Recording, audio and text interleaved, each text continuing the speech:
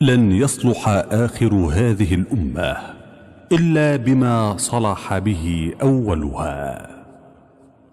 موقع أنا السلفي يقدم لكم هذه المادة. تأكيد المدح بما يشبه الذم وعكسه. إحنا عايزين نقول إيه؟ تأكيد الشيء بما يشبه إيه؟ ضده. هو يعني إيه تأكيد الشيء بما يشبه ضده؟ يعني أنا بأكد حاجة بحاجة يعني إيه في أول الكلام كأنها ضد الموضوع بس طلعت مش ضده ده طلعت تأكيد ليه.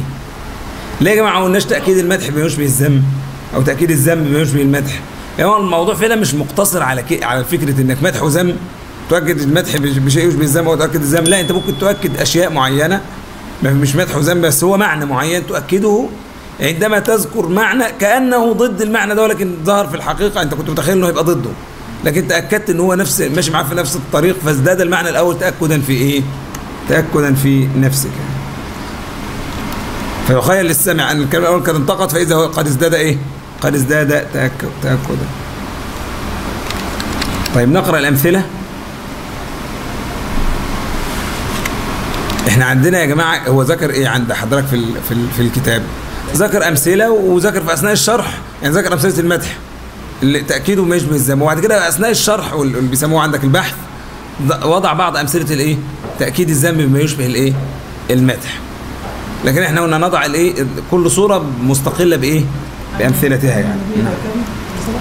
اولا تأكيد المدح بما يشبه الإيه؟ الذم أن ينفي العيب ثم يستثني صفة مدح. قال لك ما هو نفي العيب ده مدح. ده فلان ده ما فيهوش عيب بس بصراحة راجل كريم. هو أنا كده عملت إيه؟ ما هو كلمة بس بصراحة دي كأن إيه اللي هيحصل؟ آه كأنني سأصارحك بإيه؟ بعيب فيه. بالضبط. ولكن في الحقيقة بعد ذكرت في طيات هذا العيب أنا بقول لك عيبه الوحيد كذا يبقى أصبح إيه؟ أنت اكتشفت إن عيبه الوحيد ميزة. يبقى اذا إيه؟ ازداد المعنى الأول إيه؟ تاكدا يعني. ليس به عيب سوى أنه لا تقع العين على شبهه. كلمة سوى دي بتشعر انه هيقول حاجة وحشة آه بالضبط كده. فأكد المدح بما يشبه الإيه؟ ويشبه الذم بس هو في الحقيقة تأكيد للإيه؟ للمدح. وأنا شفت لا تقع العين وعلى شبهه. نعم؟ يعني إيه الشرط الثاني يعني ما فيش زيه. كأنه سيصارحك بذكر عيب فيه ثم وجدت أنت صفة إيه؟ مدح. تؤكد المعنى المذكور أولا. نعم. وقال آخر ولا عيب في معروفهم غير أنه يبين عجز الشاكرين عن الشكر. ولا عيب فيهم غير أن نعم. وممكن تبقى ولا عيب فيهم غير أن جميلهم. صح ولا إيه؟ مش تمشي برضه ولا عيب أقصد كوزن يعني. لكنه بيقول ولا عيب في معروفهم غير أنه يبين عجز الشاكرين عن الإيه؟ عن الشكر وقال النابغة ولا عيب فيهم غير أن سيوفهم بهن فلول من قراع الكتائب.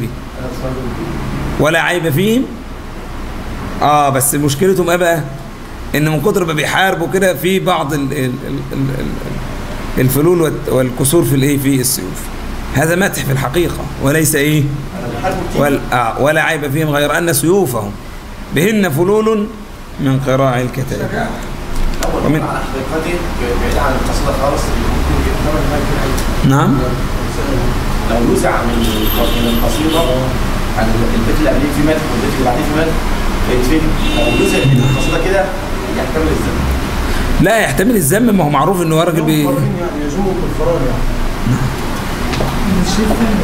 ما هو مش طريقة الأديب كده. ما فيش أديب هيجي يقول لك ولا عيب فيهم ويذكر فعلا عيب. أنت حضرتك معايا؟ حتى هو لو أراد أن يذمهم لما ذمهم بهذه الطريقة لما حصر عيبهم في عيب واحد. أصل أصلا كفى كفى بالمرء نبلا إيه؟ أن تعد معايبه معايا يا مولانا. وعلى فكرة منشأ المدح هنا في كده إن هو ما فيهوش إلا عيب واحد ويطلع العيب ده كمان. أصلا حتى لو طلع العيب ده عيب فهذا مدح. فما بالك بيطلع العيب ده إيه؟ في الآخر ميزة. يقول لك من ذا الذي ما ساء قط ومن له الحسنى فقط. نعم.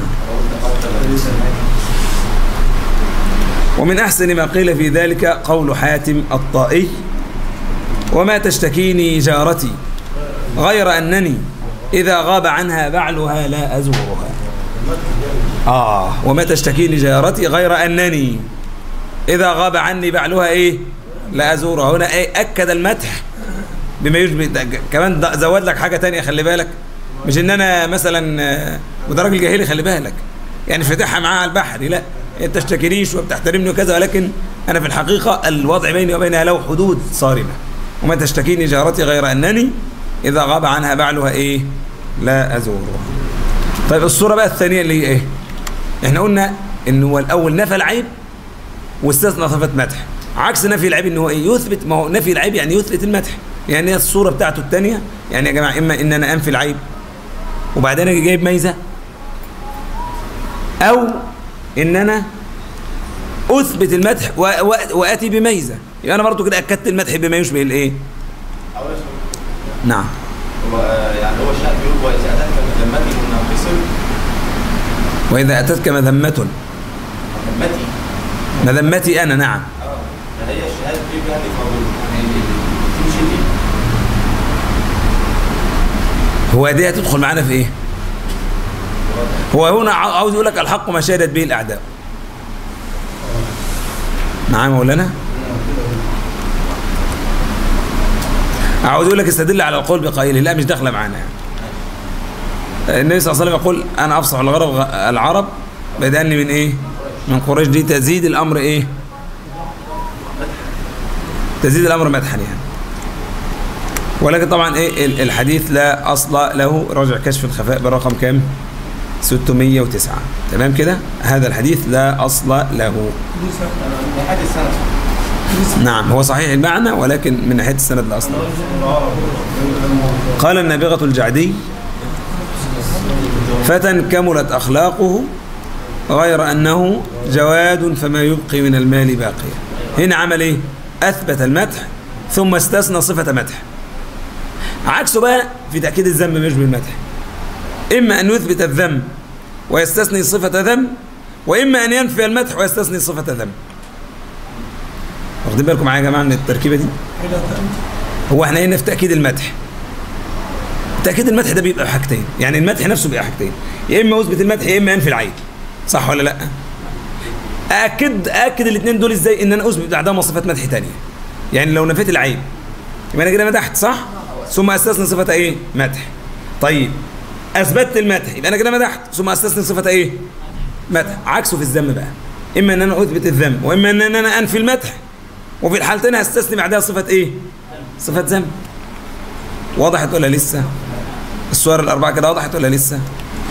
بيقول إيه؟ الصورة الأولى ينفي إيه يا جماعة؟ المدح. ثم يستثني صفة الإيه؟ صفة الذم. لا جمال في الخطبة إلا أنها طويلة في غير فائدة. إيه رأيك بقى في الكلام ده؟ أكد الذم بما يشبه المدح. الخطبة دي ما فيهاش ميزة إلا حاجة واحدة بس إنها طويلة وما فهمناش منها حاجة. هو دي الميزة اللي فيها. هل هذه ميزة أم عيب؟ يبقى هنا أثبت الذم ثم استثنى صفة ذم أو أو نفى المدح ثم استثنى صفة إيه؟ ذم. خلا من الفضل غير أني أراه في الحمق لا يجار. خلا من الفضل غير أني أراه في الحمق إيه؟ لا يجار.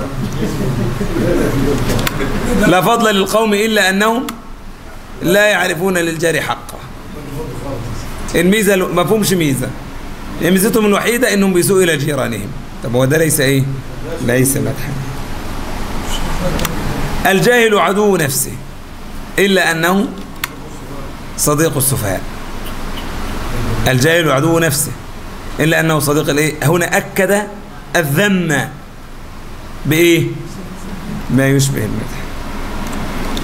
فلان ليس أهلا للمعروف. بس على فكرة الجاهل عدو نفسه دي تدخل معانا في صورة أنه أثبت الذم ثم استثنى صفة الذم. معايا ما تدخلش في الصورة دي. تمام كده؟ فلان ليس أهلا للمعروف. إلا أنه يسيء إلى من أحسن إليه. فلان ليس أهلا للمعروف إلا أنه يسيء إلى إيه؟ لا هو هنا نفى الإيه؟ المدح. يبقى كده ذمه ثم أكد هذا الأمر بما إيه؟ بما يشبه المدح. إن هو عمل إيه؟ استثنى بس استثنى صفات ذم. المفروض يا جماعة هو الفكرة هنا في إيه؟ هو دلوقتي أنا ساعه ما استثنى من المدح. المفروض استثنى منه ذم. صح ولا غلط؟ لا أنا باجي أستثني من المدح استثنيت منه مدح تاني. يبقى أنا كده أكدت المدح بما يشبه الذم طب أنا هنا أثبت الذنب. اثبتت الذم وأستثني منه المفروض أستثني منه مدح. لا ده أنت قلت ما أستثني ذم يبقى تأكيد. تزكية الإنسان بالضبط. وضحت كده أظن كده وضحت. الصورة الثانية. القوم شحاح أثبت الإيه؟ الذم بس مش بنفي المدح لا بإثبات الذم اللي قبليها كان بي- بينفي المدح الأول. لا هنا بيثبت الإيه؟ الذم القوم أشحاء أو شحاح إلا أنهم جبناء. تمام. فلان حسود إلا أنه مع ذلك أيضا إيه؟ نمام نعم. وقال بعضهم هو الكلب إلا أن فيه ملالة وسوء مراعاة وما ذلك في الإيه؟ وما ذاك في الكلب. يلا سيدنا يؤثرون على أنفسهم.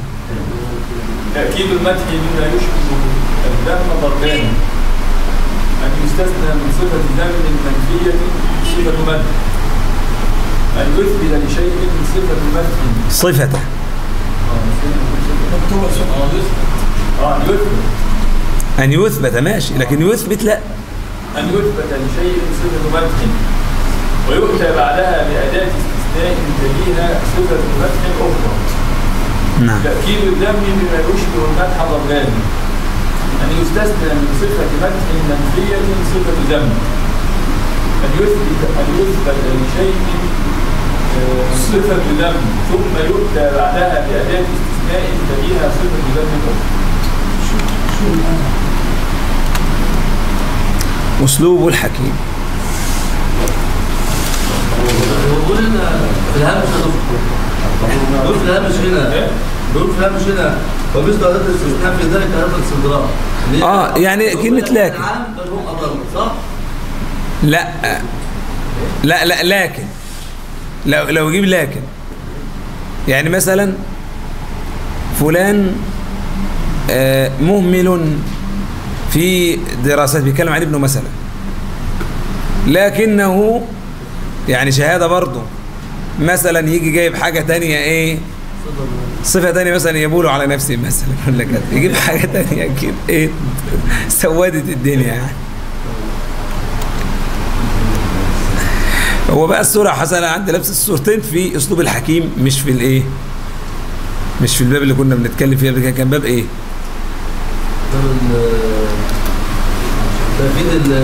لا اللي كان قبل تأكيد المدح ما يشبه زي ما كان إيه؟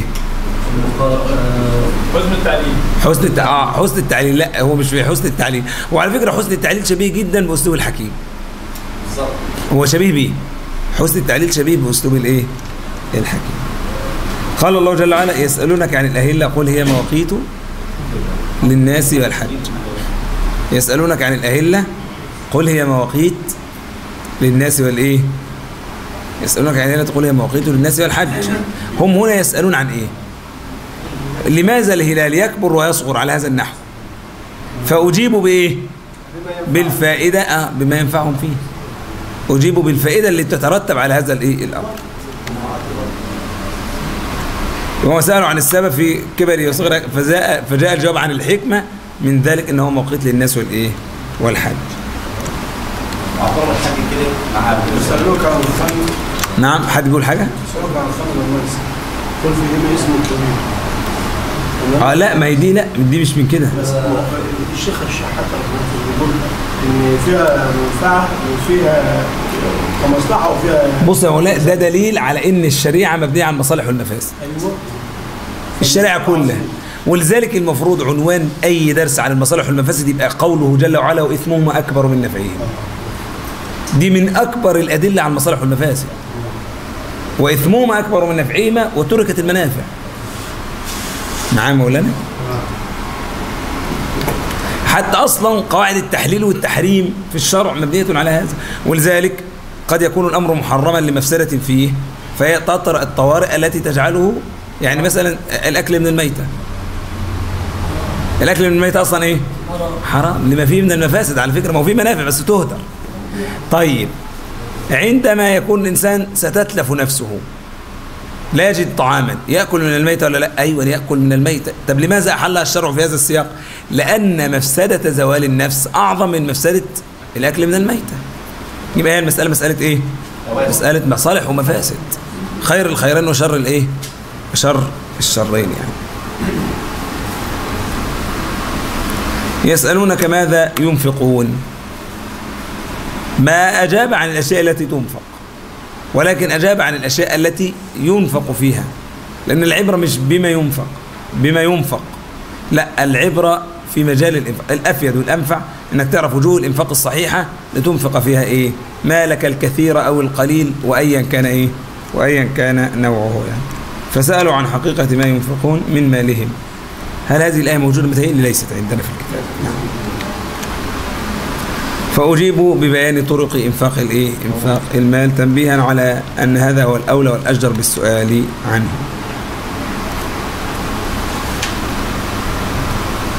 الصورة الثانية هذا بقى اللي كنت بقول لحضراتكم عليها حمل الكلام على غير إيه؟ نعم. حمل الكلام على غير ما يقصده القائل. قال ابن حجاب قلت ثقلت نعم. نعم يا شيخ. ولا حضرتك دي في الدرس اللي قبل ده ولا لا هي دي هي دي. هي بس أنا كان إيه اختلط الأمر علي ووضعتها أنا في غير موضعها يعني. هو ده الصورة الثانية من حسن التعليم. بس أنا بقول لحضرتك من من أسلوب الحكيم. بس هو فعلا أسلوب الحكيم شبيه بحسن الإيه؟ بحسن التعليم. تمام؟ فيبقى كده حسن أسلوب الحكيم له صورتان الصورة الأولى إيه؟ إن هو يجيب عن غير السؤال. تمام كده؟ الصورة الثانية أن يحمل الكلام يعني النبي صلى الله عليه وسلم يقول أتدرون من المفلس؟ المفلس مين؟ اللي ما عندوش درهم ولا دينار. لا من حسن التعليل هنا النبي صلى الله عليه وسلم جعل آه، جعل المفلس هنا الذي يفلس من الحسنات ليس الذي يفلس من الايه من منها ده أسلوب الحكيم في أن أنه أجاب عن غير السؤال أو أنه زاد وأضاف كمان. معايا يا مولانا ماله ده؟ هو هنا مش عمل حسن تعليل ولا ولا عمل أسلوب حكيم هو هنا أخر الإجابة. ركنهم شوية كده لأن الراجل ده ليه قضية عمره اللي هي قضية التوحيد. هنا العبرة يا جماعة إيه؟ في إن أنه يدعو إلى التوحيد في كل موضوع حتى وهو في السجن. ما كان ممكن يجمع الناس حول قضية تانية صح ولا لا؟ غير قضية التوحيد. يعني مش الراجل مظلوم اهو الناس مظالم معاه ما يجمعهم. لا. ال- ال- الدعوة تبدأ ولذلك اللي بيستدلوا بكلام سيدنا يوسف في قول اجعلني على خزائن الأرض يقول لك طب ما هو بيعمل هو مع الحكومة الكافرة. نقول له هذا هذا كلام نحن نسبقكم إلى الاستدلال به. ما إحنا بنستدل به برضه بس بنعيب بنختلف معكم إنكم أخذتم هذا وتركتم هذا. ما أنت خد بالك إن هو بي بي بي بي بي بيعمل مع الحكومة الكافرة وقال اجعلني على خزائن الأرض وخد بالك برضه إن هو بدأ بالدعوة إلى التوحيد. هو لا يريدك أن تبدأ بالدعوة هو عاوزك بس تاخد دي. طبعا تكون الاجابه افتؤمنون ببعض الكتاب وتكفرون ببعض. لأن هناك من ويدعي أنه يعمل للدين من يحقر من شأن دعوة التوحيد ومن يرى أنها إيه طرف عقلي. ومن يقسم الشرك إلى قصور وقبور. صح ولا إيه؟ ويعتبر إن شرك القبور ده شرك مين؟ شرك القبور ده شرك السذج والبسطاء. عنده. كل ده تحقير لدعوة التوحيد وتقليل من شأنها. معايا يا شيخ؟ فهنا ده دليل إن هو بإيه؟ بيعظم شأن هو قضيته قضيته ليها التوحيد. اولا دعا إليها في السجن. ثانيا سخر ما لديه من إمكانات لخدمتها. زي الغلام كده قال له إيه؟ اني لا اشفي احدا إنما يشفي الله إيه؟ تعالى فإن أنت آمنت به دعوته. لأن بعض الناس بي بي إيه؟ بي بي يعني متخيل كده إن أنا لما اسخر ما معي من احتياج الناس إلى ده عشان نجاتهم عشان التوحيد عشان تأخذهم من الظلمات إلى النور. يعني افترض واحد بيغرق ومش عارف الا اربطه من حبل من رقبته واشده منه. ما فيش إلا كده. طب ما انت افعل هذا به. طالما لا يوجد حل آخر لنجاته إلا هذا. فهو بقى هنا أحسن ما أحسن ولكن عندما جاءوا وطلبوا الايه ال- بدأ إيه يؤخر لهم طلبهم ورغبتهم وحاجاتهم عشان يوصل لهم قضية الايه التوحيد. ده مش أسلوب حكيم ولا حاجة ولا إن هو اجاب عن غير السؤال ولا كذا هو أخر الإجابة بعض الشيء. لكن لما نسأل أنا أتوضأ من ماء البحر؟ قال هو الطهور ماؤه الحل إيه؟ ميت كأنه أجاب عن سؤال آخر وأضاف للايه هو ده من أسلوب الحكيم. هذا من أسلوب الحكي. الصورة الثانية اللي هو إيه؟ يحمل الكلام على غيره. أهو ده بقى الكلام اللي بقول لكم عليه أهو. الراجل بيقول له قال ثقلت أو قلت ثقلت إذ أتيت مرارا. قال ثق- ثقلت كهيلي بالايادي وبقول له ده أنا ثقلت عليك يا جدع والله وباجي لك كتير. قال له أنت ثقلت كهيلي يعني ده أنت بتشيلني جمايل. أنت مشيلني جمايل. يعني كل مجيه من مجايتك دي هي نوع من الأيادي والنعم والخ... كل مجيه جميلة. أنا فعلا مش عارف أودي فيش فين من كتر جمالك إنك بتيجي عندي شرف ليا يا عم الحاج. بي مم؟ هيكون دي. قصة تانية. أنا بتكلم على بيت الشعر اللي قدام. إحنا بنتكلم على بيت الشعر اللي قدام. خلاص؟ بيحمل الكلام على غير الإيه النحو قلت طولت. قال بل تطولت. تطولت يعني تفضلت. أنا بقول بيقول له طولت عليك. بيقول له لا أنت مش طولت أنت تطولت. تطولت هنا بمعنى إيه؟ تفضلت. قلت وأبرمت. قال حبل ودادي. أه، لأن كلمة أبرم هنا ممكن تبقى إيه؟ أبرمت يعني واحد تبرم من واحد زهق. فبقول له أبرمته قال حبل ودادي. ده أنت أعمل حاجة أبرمت حبل الوداد الذي بيني وبينك. فتلته يعني وخليته إيه؟ وجعلته مبرما متينا. نعم. وعشان كده دخلت معانا فيه. حضرتك معايا؟ بس هو ده بيعتبره من أسلوب الحكيم. بس هي فعلا تمشي في حسن التعليل. إن الصورة الثانية اللي بيعتبرها من الحكيم هو ولذلك قلنا دي قلنا كده مش هنسميها حسن التعليل هنسميها التعليل المبتكر. آه هنسميها التعليل الأفضل إن هي تسمى التعليل المبتكر. ولما نعى الناعي سألناه خشية وللعين خوف. خوف البين تسكاب أمطاري. لين يا جماعة خوف البين؟ آه ليه خوف البين؟ مفعول لأجله. وللعين خوف البين. تسكاب إيه؟ أمطاري. أجاب قضى. قلنا قضى حاجة العلا. فقال مضى. فقلنا بكل فخر. يعني إيه مضى؟ بكل يعني خد ال... ال... كل أنواع الفخر. وال... والعظمة وما سابش للناس اللي وراها إيه؟ حاجة منها يعني. خد خد الحاجات الحلوة ومشي. فحمل كلمة قضى على قضاء الحوائج وحمل كلمة مضى على أنه ذهب بالفضل ولم يترك شيئا لمن بعده. مزيد من الأمثلة. آه، خالد بن يسأل الرجل في فتح الحيرة فبرز إليه هذا الرجل فيقول له إيه؟ قال فيما أنت؟ قال في ثيابي. قال على ما أنت؟ قال على الأرض. قال كم سنك؟ قال اثنتان وثلاثون.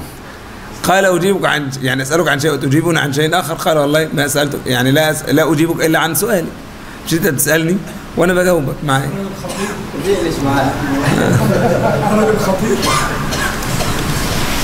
وقيل لتاجر كم رأس مالك؟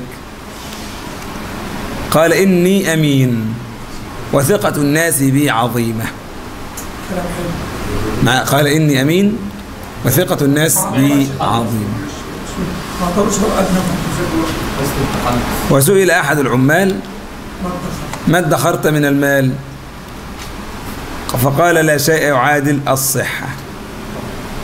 أنا يعني إيه بحافظ على صحتي هي دي المال اللي أنا حافظ عليه. نعم. من يقرأ القاعدة يا إخوة؟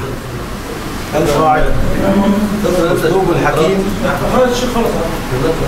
تلقي المخاطب بغير ما يترقبه إما بترك سؤاله والإجابة عن سؤال لم يسأله وإما بحمل كلامه على غير ما كان يقصد.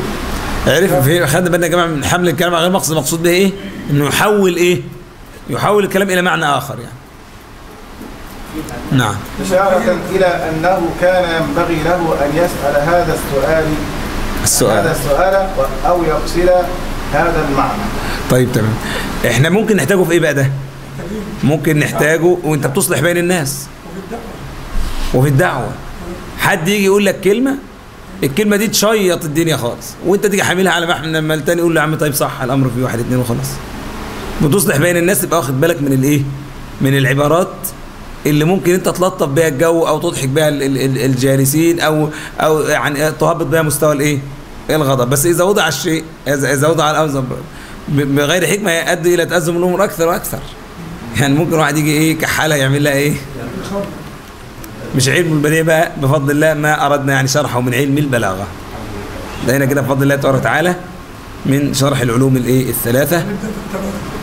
آه سنرى إن شاء الله بقى بإذن الله مع الإخوة بإذن الله. نكتفي يعني بهذا القدر إن شاء الله. سبحانك اللهم وبحمدك. نشهد أن لا إله إلا أنت. نستغفرك ونتوب إليك. وجزاكم الله خيرا. قل هذه سبيلي أدعو إلى الله. على بصيرة أنا ومن اتبعني وسبحان الله وما أنا من المشركين.